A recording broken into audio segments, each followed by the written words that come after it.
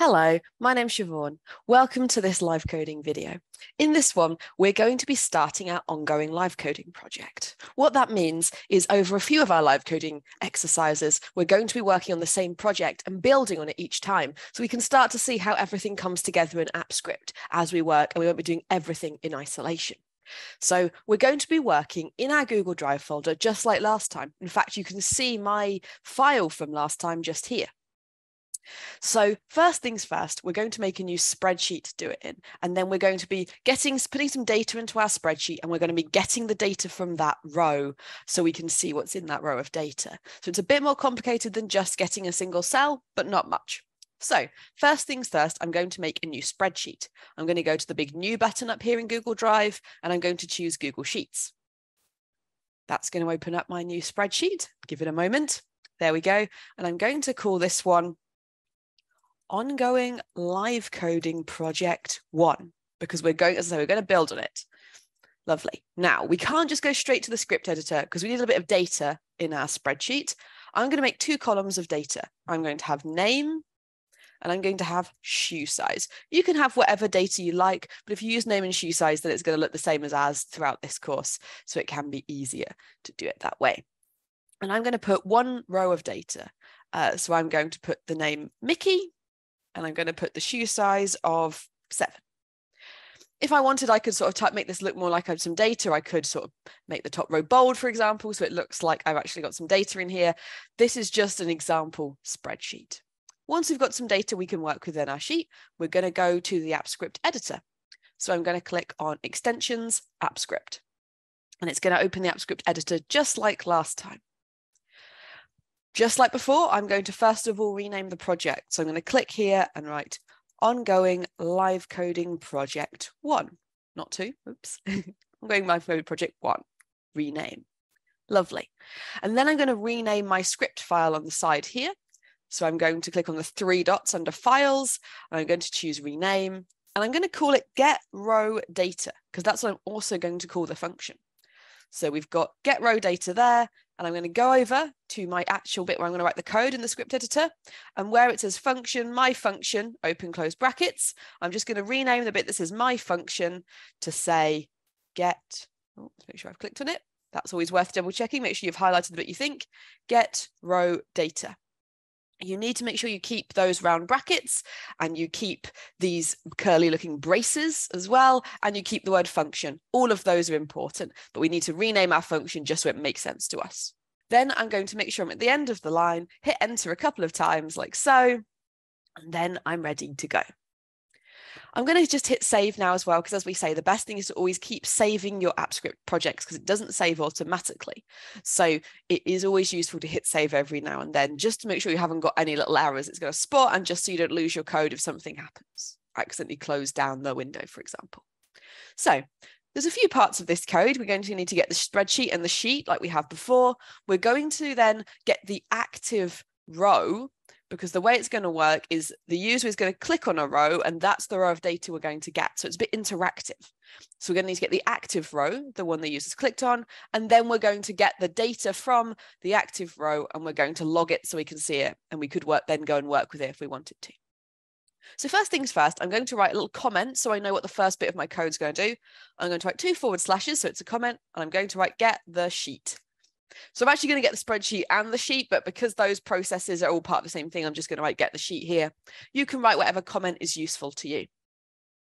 And then I'm going to hit enter and I'm going to create a variable to score my spreadsheet in, just like before. So I'm going to write var space ss space equals, I'm go to the space and I'm going to write spreadsheet app. So once again, it is auto completing there if I wanted to get it, but I'm going to write it out. It's good to practice writing the word spreadsheet, I guess. Then I'm going to write dot get active spreadsheet. Open and close some brackets, but there's no information I need to give it. And then I'm going to end my line with a semicolon like so. So this is the line you'll typically use at the start of most pieces of Apps Script code if you're working with a spreadsheet. Nice and simple. Now I'm going to hit enter and I'm going to create a variable to store the actual sheet in. So I'm going to put var and I call it sheet so in my variable, another space, equals sign, and I'm going to access the spreadsheet we've got stored in the variable. So I'm going to write SS, And then I'm going to do a dot so I can access everything I can do with the spreadsheet. And I'm going to start writing get sheet, get sheet by name. Exactly. So get sheet by name is really useful because it means we can get a specific sheet in our spreadsheet. And if we've got lots of sheets, we can get different ones by their respective names. So I could click here and it will autofill it like so, get sheet by name, or I could type it, but be careful with that camel case. The capital letters of all the subsequent words, but not the first one, are capitalized. That's important. If you don't do that, it won't recognize it as a command. Then I'm going to open, close some round brackets. And that the Apps Script editor is actually giving me a clue. It needs the name and it needs to be a string. So that means we don't need to be in some quote marks if I haven't already got it stored in a variable. So I'm going to put some single quotes in here and I need to go and get my sheet name. So I'm going to jump back into my project and actually I'm going to rename the sheet. So my sheet's called sheet one. I'm going to click on the little arrow here and I'm going to choose rename and I'm going to rename it to data because it's always good to rename the sheets in your file when you're working with Apps Script so you're really clear as to what these sheets are. So it's called data here. If I want to just copy and paste the name of that, I could either choose rename or double click, and I can actually just then use the keys on my keyboard to copy and paste the word data in, like so. So I know it's exactly correct. If there's any space characters in there and things like that, you want to make sure you've got them exactly as they are, or it won't find the sheet. Once I've got my sheet name in, I end the line with a semicolon, like so. So there we go, we've got our sheet. I'm going to hit save again just so it's saved doesn't do anything. That's perfect. I'm going to hit enter and enter again just to leave a blank line for readability. And now I'm going to get a write another comment. So to get something, that's why I got confused there. So two forward slashes, we're going to get the active row number so we can use it. So what that means is we're going to get some data, going to get a particular row. So we're going to need which number row it is so we can put it when we do our get range. So I'm going to get that information using the active cell, which is one of the things you can get from a spreadsheet. So I'm going to hit enter and I'm going to create a new variable, var space, and I'm going to call it row number. So I've got row all in lowercase and a capital N for number, and then the rest of the word. Hit space, equals sign, and then we're going to access the sheet that we're working on, because that's where we want to find the active cell and do dot. And once again, we've got this big list of everything you can do with a sheet and I'm going to start writing get, and there's all sorts of things I can get, but the top one actually is get active cell. So get active cell. Like so, open, close some round brackets. So what that's going to get us is whichever cell has been clicked on and is surrounded by the little blue highlight. Now, we don't actually want the cell, we want the row. So at the end of those brackets, I'm going to do another dot. So everything I could do with the active cell now. What can I, what stuff can I do? What actions can I do with the active cell? And I'm going to start writing get as well and we see we've got a whole load of gets, get the background. I could get the font size, but what I actually want is the row. So I'm going to start typing row. There we go. I have to put those brackets on like so, and then I end the line with a semicolon. So there we go. We've got the row number now stored in our variable. So now we're ready to get our actual data and log it. So I'm going to hit enter and enter again, just hit save as I'm going along. There we go. And now I'm going to do a third and final comment, two forward slashes. I'm going to get the row data and log it.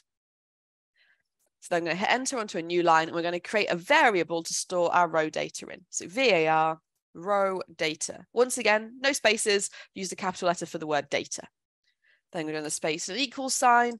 And we're working with a sheet again because we're going to get a range, which you do from the sheet. So I'm like sheet dot get range like so, and open some brackets. And it gives me loads of help about the sort of things we can do to get a range, what kind, what value options for values we can do. So we're going to start with giving it the row and the column we want to start with, and then we're going to tell it how many rows and how many columns we want. So the row we want to be working on, we don't want to get that from the sheet. We don't want to get a number. We want to use the row number variable we already have here. So what I could do is I could highlight and use Control C or Command C if I'm on a Mac on my keyboard to copy and paste my variable name in. When it's a variable name, make sure you don't put it in quote marks because it's not a string, it's the name of an actual variable in your code. So the row we're going to be on is row number. Then I'm going to do a comma and I'm going to do a space for readability, but this is optional. And then I'm going to, what column do I want to start at? Well, my data starts in column one if I have a look. So I want to start in column one. So we're going to start on the row that we're currently on, the active row, and column one. Then I'm going to do another column, another comma, not column. Uh, and I'm going to do a space. And then I am going to say, how many rows do I want? So this is the number of rows. Well, we're only working with the active row. So I only want one row. So I'm going to do a number one there. Then another comma. And the final value I give it is the number of columns. So in this case, I've only got two columns. I can easily count this. You can also use a command called get last column, which you'll find on our guide page, which you can read about, which allows you to not do this manually. But in this case, there's two columns. I'm just going to write the number two. So the, we want to get two, one row and two columns of data. Perfect. So that's the range I want. We're going to start on our active row, the one we've clicked on. We're going to get, we're going to start on the first column. We're going to get one row and two columns. Perfect. Now, if you remember, get range doesn't get, get us the data inside that range. It only gets us the actual range of cells. So we can get other information about it, like the background color, for example. We don't want that. So I'm going to do another dot after my bracket so I can access things that I could do with the range itself. And then I'm going to do get values. Now, there's two options, get value and get values with an S on the end. We need get values because we have more than one value. We've got more than one cell in our range. Whenever you have more than one cell, even if like we do, we've got two, you have to use get values. And then I go to open and close some brackets. Now, when we use get values, it will automatically put our data into what's a, called a, we call a two-dimensional array. What that means is we have each row of data which is stored in an array, so a list of all the data. And then those arrays, all of the rows we could potentially have, are stored in one larger array, sort of the one that holds all of the, the sub-arrays, each of our rows, which is essentially what a spreadsheet is. But we only have one row. So essentially we have an array inside an array, but with no other arrays with it, sort of a bit lonely. So what we're going to do is we're going to use the index number so that our row data only has that one array of data and not the sort of redundant extra bit. So I'm going to do some square brackets and put a zero in there because when we use arrays, we count from zero. So you can see this all on our guide and in the course, we'll be looking at how you count in arrays and use these numbers. But the index number for the first item in an array is zero. So we're just getting that first row and there's not any other rows. So we're definitely correct there, but that's what we've managed to get for putting this zero here. It's really useful to remember this because otherwise you're going to be weirdly working in what you think is a single row, but the computer's kind of acting like it's multiple rows of data at once. And then I'm going to end my line with a semicolon. And then finally, I'm going to log the value of row data. So I'm going to write logger dot log, just like we did in the previous live coding project. And I'm just going to write row data in there and end the line with a semicolon. I'm being very good at ending on my line with semicolons, but you will find that occasionally if you miss one off, your code does still work. It's just, it's like the sort of full stop at the end of a sentence, basically. So now we've done this, I'm going to hit save. Give it a moment. Before I run this code, I'm going to make sure I've clicked in the correct row. Because it's very easy to have clicked over here or to be clicked in the header row. Make sure you're clicked in the row with your data in. Once you've done that, you can hit run. It will ask for authorization and I will have to review the permissions, uh, make sure I'm signed into the correct Google account and allow it before it will let me run it. And then it should run it and it should give me my row of data. As I said, if you don't see your row of data there, check your code matches what I've got on the screen like this, but also check you've clicked on the right row. If you run it, let's run it again with me clicked on the wrong row. So I'm going to do it with the header row here, which has got some other data in. If I um, hit run again, you see it gives me name and shoe size, which is just my header row. So you have to be clicked in the right place because that's how I've made it work. If you want, you could go and add more rows of data and watch what happens if you clicked on those ones instead. But there we have it. We've worked out how we can get the data from a spreadsheet in a row of data and we can log it. And now we could go and do things with it if we wanted to. Thanks for watching.